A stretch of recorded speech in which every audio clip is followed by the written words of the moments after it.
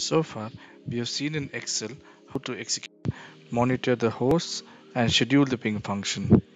Other videos on how to build the ping monitor. You'll find the link below in the description.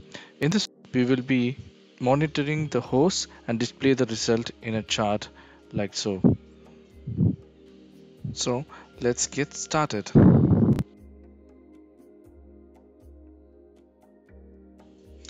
The start video is the Excel file used the ping monitor video. For this, visit my GitHub page and select the tech tip folder. Now download the 09 ping tester file.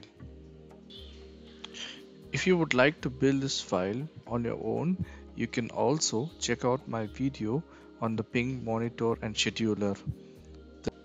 You will find the link below in the description.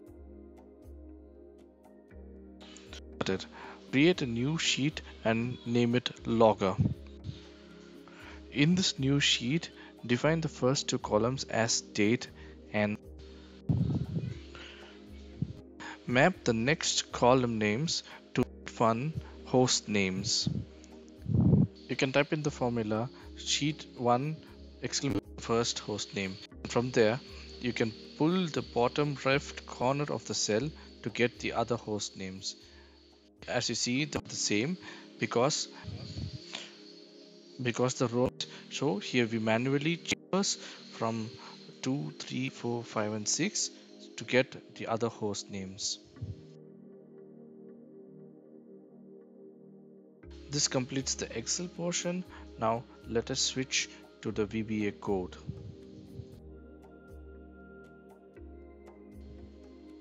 Define a global variable called global time counter.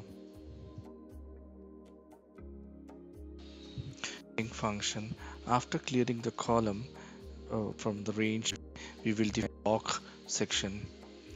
So for this we first define the worksheet uh, and reference it to the logger worksheet. In order to do this define a variable called s as a worksheet and now we will set this WS to the logger worksheet. Let us get the date and time. So for this, we will define a variable called long log time as date object and set it to the now date object. We will format this log time as date for the two columns respectively.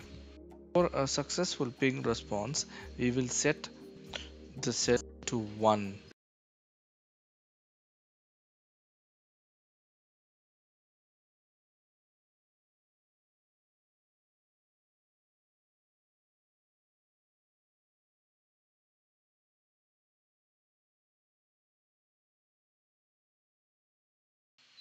and for an unsuccessful response we will set the cell's value to 0. With this we will the entire range with either 0 or 1 depending upon if the ping function is successful or not.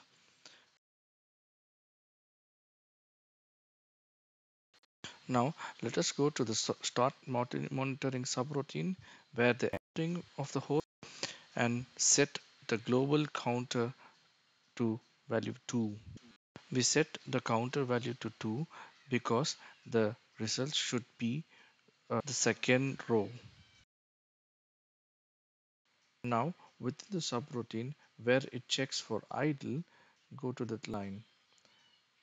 So increment the global counter by 1 so that the will store the results in the next row.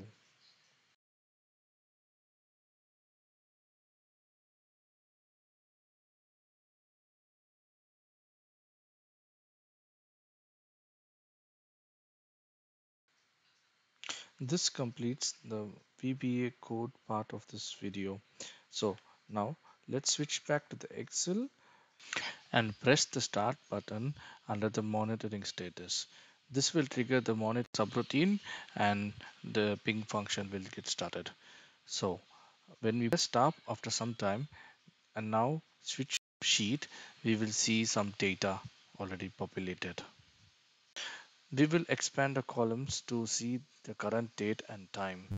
So this data use as a basis for our chart. So in order, we will select the data from cell G7 or so. Selecting the range, go to the menu insert and select the line chart. Now the line chart will be automatically created for you.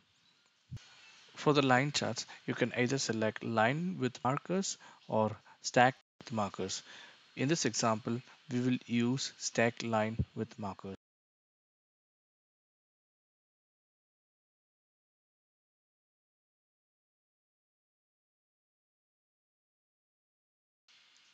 Let us change the monitor.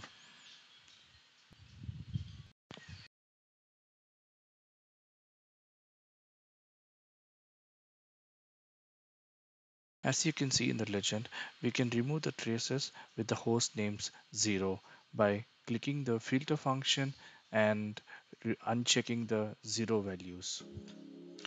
Now we have here the host names which has either successful or unsuccessful ping requests. Okay, we still have of the x-axis.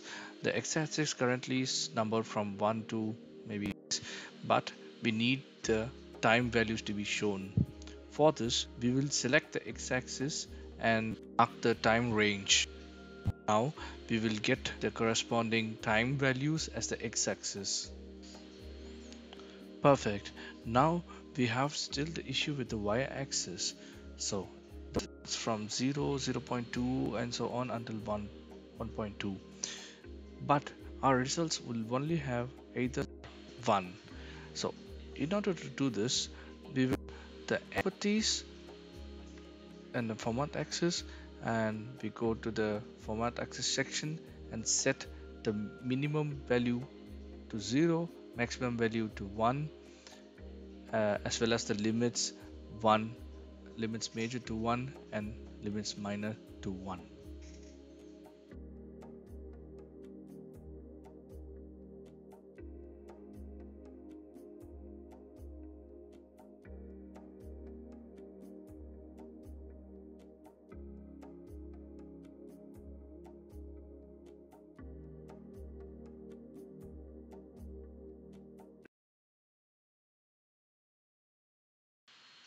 Perfect. Now we have the chart ready.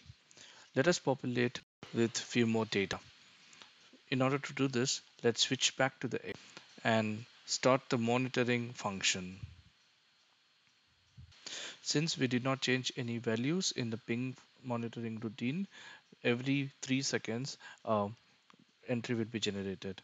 After some time, if you look up the chart, now we have more data. Okay, but let us populate or extend this chart to display or handle more data. We can track and or monitor the devices for up to one day or preference. Extend the graph for more data points. Now we see the time is getting clocked. So in to display the values in a nice fashion, click format axis and go to the alignment option. Under the alignment options, set the position to vertical. Perfect. This is the task for this view. Now you might be wondering how to increase this time or the monitoring time. For this, we will switch back to the VBA code and go to the section where it says application that wait and you can change here to maybe two minutes or five minutes or 10 minutes, whatever time. Yeah. So for another test, I'm going to be setting the interval for one minute. So this I can do by saying 001 colon value. I switch back to X and start the subroutine, start monitoring. This way, as many tests as you like, and you can change the time, change the interval depending upon your requirement. Yeah.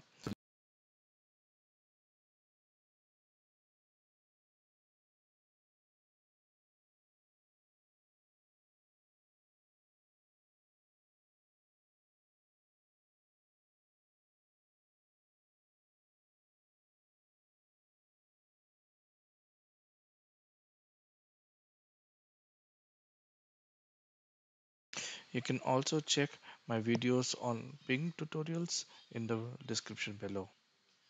Like and subscribe my channel to see more videos like this. I will see you in the next one. Bye bye.